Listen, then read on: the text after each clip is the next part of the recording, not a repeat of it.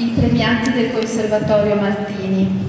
E anche quest'anno la violista Margherita Fanton.